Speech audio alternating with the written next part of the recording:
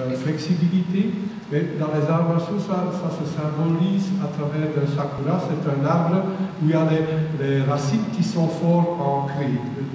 Dat is wortels. En in de c'est la rectitude, c'est la recherche de stabilité. Stabilité et flexibilité commencent par avoir des racines fortes et avoir après une certaine flexibilité.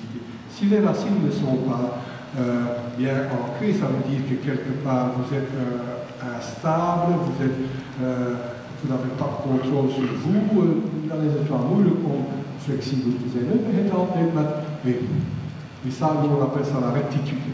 C'est le gishi en japonais.